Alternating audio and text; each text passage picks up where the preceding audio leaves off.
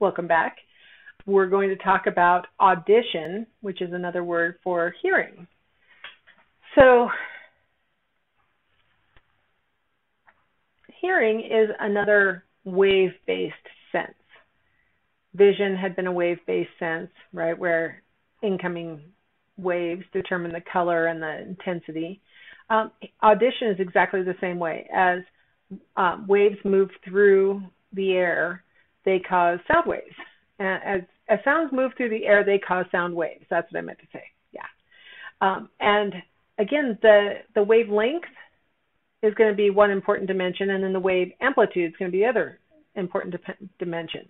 So pitch is determined by um, wavelength. So low frequency sounds, the ones that are represented by the bass speakers, um, those are going to create you know longer waves. So higher pitch sounds are going to create the higher frequency waves, and so you get the you know the tweeters and things like that to represent the high frequency sound waves. So um, just like vision, we've got these sound waves, and then um, we also have just like the intensity of the of the visual stimulus is determined by amplitude. The intensity of the auditory stimulus is determined by amplitude. In, in audition, we call that volume. So a high amplitude sound is louder than a low amplitude sound.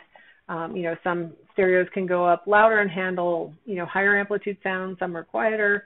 Um, some people's ears need higher amplitude sounds to detect pitches, right? Because we're starting to have hearing damage, things like that.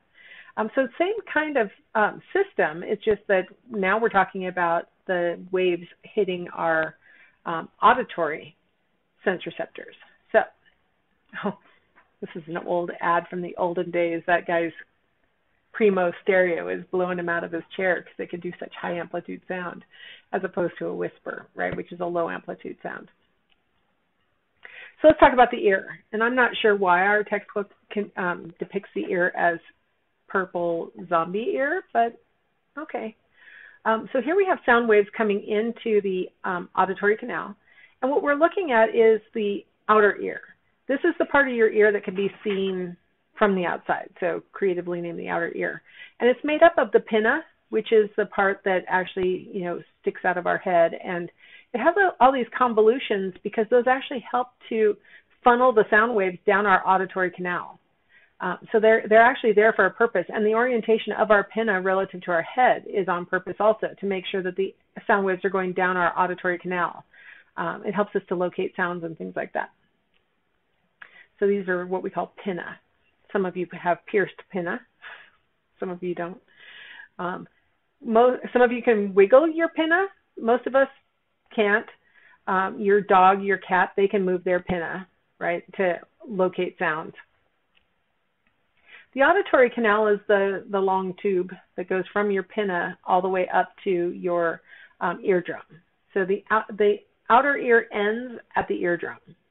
Um, so as the as the sound wave goes down the auditory canal, you see that it gets kind of compressed as it goes into that smaller space, and then it has this um, effect on the eardrum that causes it to rattle, and that the timing of that rattling of the eardrum is going to help to convey the sound into our um, sound receptors.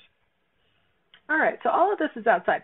Now the eardrum requires lubrication to stay flexible. It's just sort of like skin.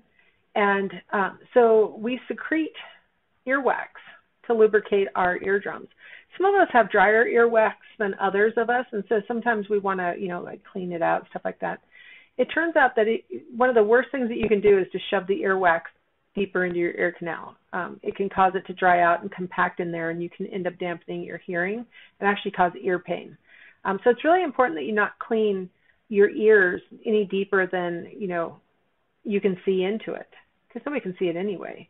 Um, it, you want to let it just sort of naturally flood out. If you have a lot of accumulation of earwax, there are flooding things that you can do, little balls of um, like water kind of substance that you put in there, let it sit, and then um, drain out and stuff. You don't want to Q-tip it, in other words, because you can compact the ear wax down and make really big problems. Um, so that's my little soapbox on the Q-tips. I'm not anti-Q-tip. I'm just anti-Q-tip all the way in. The middle ear is that section from the eardrum, from the inside of the eardrum up to that bluish structure that looks kind of like a snail. so um, all the things in between. So that open air area, and then there are three little bones in the middle ear. They're the hammer, the anvil, and the stirrup. Some of you may have taken a um, biology class and you were told the official name for the for each of those bones. I can't remember them. All I remember is stapes for the stirrup, but in psychology we like to go with the everyday words, so we just call them the hammer, the anvil, and the stirrup. Um, the air space in your middle ear connect your middle ear to your eustachian tube. Your eustachian tube connects your middle ear to your mouth. And um, in babies, that eustachian tube is really short, and so um, bacteria from their mouth can get up into the eustachian tube and cause ear infections. Um, so babies are really prone to ear infections because of that short eustachian tube.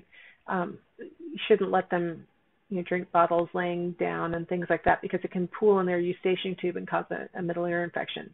The reason why we worry about middle ear infections is because bacteria like to grab onto things and um, use them as like a place to breathe from.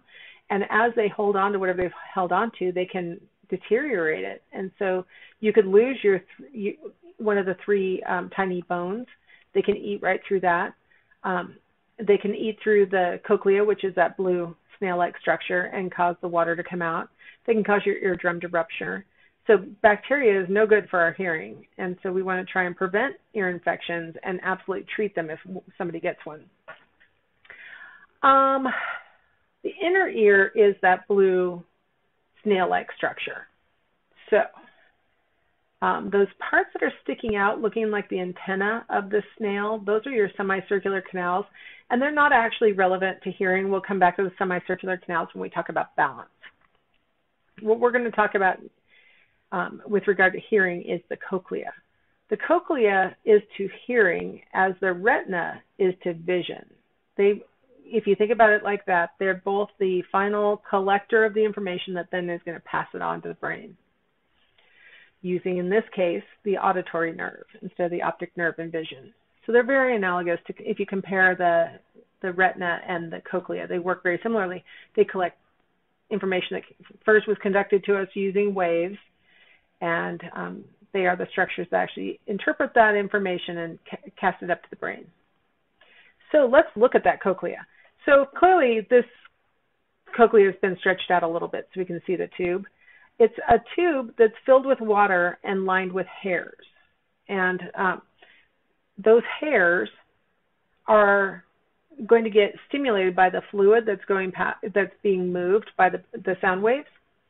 And those hair cells are going to actually interpret the frequency of the sound. Here's a nice zoom in on what those hair cells along the cochlea look like. Now, kind of surprisingly for me when I found this out, um, the co- the hair cells that are closest to the source of sound, like the beginning of sound, is your highest pitch frequency hair receptors. Every single time a sound comes by, those hair receptors get stimulated and they have to recognize, no, that doesn't matter to me. No, that doesn't matter to me. Oh, here's a high pitched one. Okay, I'll respond. They're the first ones to lose their sensitivity. So by the age of 18, your ability to detect the highest frequency sound that you ever you had been able to do younger. By the age of 18, you've lost the highest pitch. Um, by 25, you've lost the next highest pitch. Um, by the age of 40, you're down another layer. So that by the time you're in middle age, you've lost a lot of the really high pitched frequencies that might have used to really annoy you when you were younger. Like um, London uses a really high pitched frequency to keep teenagers from loitering around the bus stops because it just drives them crazy because they can hear it um, and older people, I think it's um, 18 and over, they can't really hear it, and so it doesn't bother them to stand there and wait for the bus. But a younger person, it just they're like, oh, it's so painful and aversive. I don't want to go stand and wait for the bus. Um, so we can kind of use that against uh, uh, younger people. It's a problem. Us older people can't hear a lot of the higher sounds, so that's annoying. But um, now in this picture, you see the auditory nerve, which is going to go off to the brain and carry the information of intensity and frequency up to the brain for processing. Now, I thought I'd share with you a little bit about um, damaging those hair cells. It turns out this is a, a chart that was produced by a um, by OSHA. OSHA's job is to make sure that you're not getting harmed at work. Um, it's occupational safety hazard something. Um, and what they've determined is that if you are exposed to 85 decibels chronically for eight hours a day for five days a week, you could face hearing loss. So they say that you know a workplace either needs to provide you with hearing protection or you know put you out of range of that high of decibel. Um, that's only slightly louder than the sort of noise you'd expect at a busy street corner.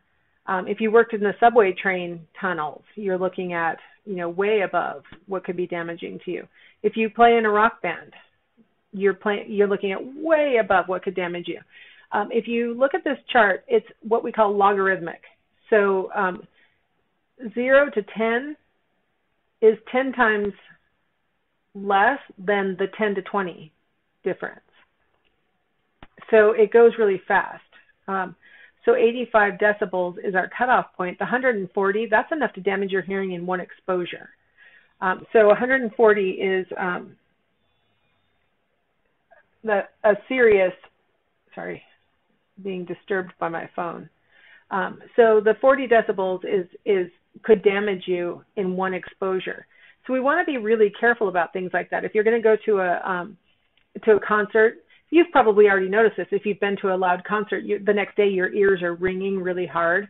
That's because you've overstimulated those hair receptors and they're trying to recover. Um, when you're younger, you probably can recover, but you know do that a few times and you're going to really actually damage your hearing. Um, so you go to a rock concert with earplugs in. You'll still hear it. It just won't damage your hearing. Um, one of the most damaging things that people today are doing is listening to earbuds chronically and too loud. Um, so one of the best things that you could do is crank down your volume and maybe don't use earbuds. You'll notice. See what I'm wearing? I've got um, AfterShokz. They're called, and they're not. They're not. They don't go in my ear at all. They're actually conveying sound through my bones. So I'm not going to damage my hearing, even if I were to crank this up loud, which I don't because it actually vibrates and it feels really weird if you have it up too loud. Uh, so it actually conducts sound directly to my bones, which is a clearer, richer, more resonant sound, and it doesn't hurt my ears. I'm not. I'm never going to damage my ears as long as I'm delivering it like this. And in fact, what you can do with these AfterShokz is put plugs into your ears so that other sounds around you don't damage your hearing, or if you want noise canceling or something like that. I don't like stuff in my ears anyway, so I really like these AfterShokz. Um, but it's a pretty nice way to avoid the possibility of damaging your hearing. Because what we're finding is that there's been a spike in hearing damage, hearing loss among 18 to 44 year old adults. 18 to 44 year old adults should still have really good hearing. And what we're finding is that um, people who use headphones heavily, 23% of them are experiencing hearing loss and you can't get it back. Once you damage those hair cells, they're dead. You cannot get them back. Um, so you want to protect them so that when you get older, you can hear. So do everything you can to protect those ears. Now, why do you have two ears, one on either side of your head? Um, well, it helps you to localize sound. You've got your eyes for recognizing where it's coming from if it's in front of you or if it's behind you you can always assume, well, I'm, I can't see it, it must be behind me. But to be able to tell whether it's coming from your right or left, it's really handy having an ear on either side of your head. Because whichever ear collects the information first, your brain processes that and knows to look to the right in the case of this bell, right? So um, our ears are on the two sides so we can know right from left. We already know whether it's in front of us because we have eyes. Um, where it gets tricky though is this center area when it's hitting both ears at the same time, because if I can't see it, that means it's either above me or behind me. Now, ancestrally, you know, the way that we've evolved, it's probably behind us, right? But today, there are things that can be above us that didn't used to be able to be above us as, um, you know, our ancestors. So we end up looking like this, trying to figure out where is that coming from? I don't see it in front of me. I look behind me. It's above me somewhere. so we end up looking like these dogs trying to figure out where is it. Um, we don't have to turn our heads like that usually because our ears are actually a little offset. That's why our glasses are always crooked until they fix it at the uh, eye doctor. Um, our ears are a little offset, so that even helps us to figure out not only left versus right, but a little bit, you know, above and below. Um, so our ear placement is really deliberate, right, to make sure that we're actually getting the best information we can. All right. Uh, I'm going to go ahead and take a break here, and I will wrap up the last three senses all in one. So I will be back.